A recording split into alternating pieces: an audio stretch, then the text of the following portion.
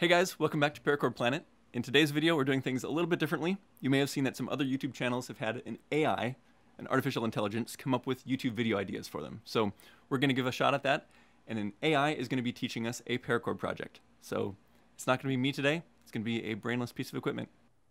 So with that, let's dive in.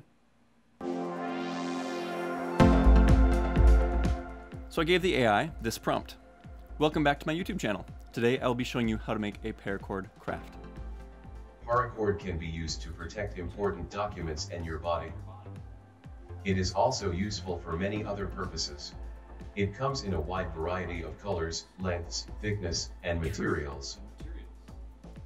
I like to carry paracord because I am easily startled.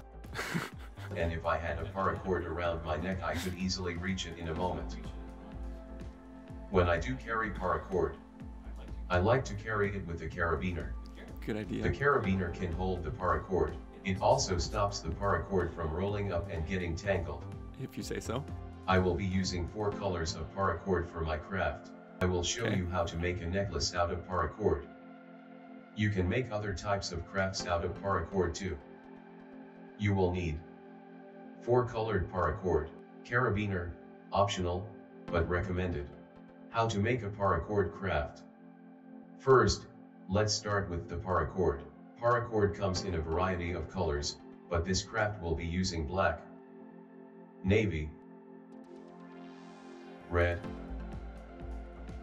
and tan. I picked out four colors because they match with the color of the carabiner I will be using for this craft.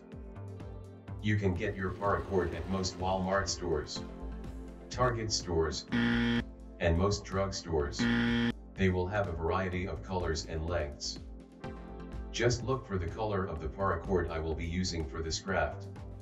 You can also order the paracord at amazon.com. That's a better idea. If you want to order from Amazon, go to the product page for your paracord.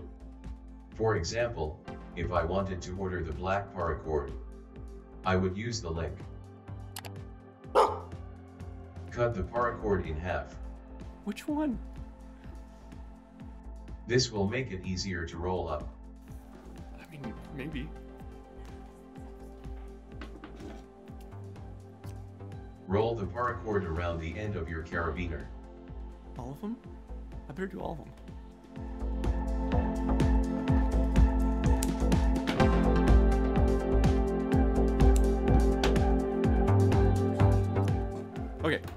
Next step. You will be using the end of the carabiner for this craft. It will create a pretty tight coil. Yeah, we've got eight colors of paracord. Eight cords of paracord. Okay, rolling it around. Tie an overhand knot on the end of your paracord. We just rolled it. Okay, This will be your end knot. it'll be quite the knot. When you are tying your knot, don't push all the way through the paracord. This will keep the coil tight. It will also make it easier to unravel your knot. Are we are we still coiling the paracord? If you are using a carabiner, I am. just tie your knot into the carabiner. The end of your paracord fantastic. knot will be sticking Okay. out of the top of the carabiner. Yep, yep. Look at Let that. Let me know if you end up making this craft. I would love to see pictures of your project. and that's the end. That's beautiful.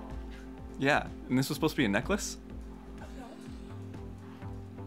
right? It said necklace. Oh, having paracord around your neck because you get easily startled. All right, so I'm not really sure what we have here, but this is this is an AI's first paracord project. I'm fairly certain. If this was highly entertaining, then maybe we'll make another one sometime. Let us know in the comments and give this video a like. If you're easily startled, maybe you want a paracord necklace like this one.